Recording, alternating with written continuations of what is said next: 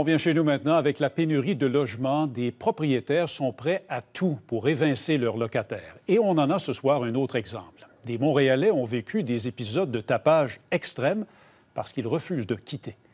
Yves Poirier. Quand une simple rupture de conduite se transforme en cauchemar pour des locataires, ça donne ceci.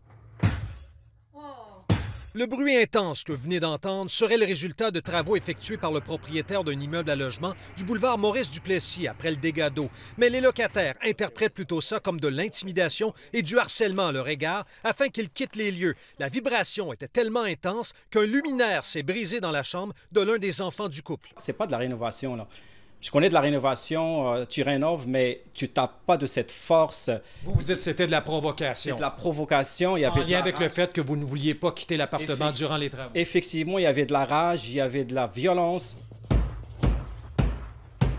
Précisons que cet événement s'est produit il y a quelques mois à Montréal-Nord et si la famille a décidé de nous contacter aujourd'hui, c'est parce qu'elle craint d'être victime éventuellement de rénoviction. Le propriétaire leur a fait d'ailleurs parvenir cette mise en demeure il y a plus d'un an, leur demandant de libérer les lieux parce que le tribunal administratif du logement l'avait ordonné, ce qui est faux. Ils sont à couteau tiré, s'accusent mutuellement d'exercer déraisonnablement leurs droits en justice et pendant ce temps, les travaux de rénovation dans l'immeuble semblent avoir été mis sur pause. Pourquoi vous teniez absolument à rester ici? Ouais, mais regardez, on est en plein crise de logement, donc on a, on a essayé de trouver un autre logement. C'est sûr qu'on ne peut pas rester dans ces conditions, mais il n'y avait pas de logement. Nous avons voulu parler au propriétaire, c'est son administrateur qui a répondu à nos questions. On a aussi une lettre de la compagnie d'assurance qui nous oblige de faire les travaux dans leur unité, mais les locataires, ils pensent que les travaux sont pas majeurs et ils veulent qu'on les fasse pendant qu'ils sont dans les lieux. Mais est-ce que vous avez obtenu une décision du tribunal du logement qui les force à quitter les lieux justement pour les travaux?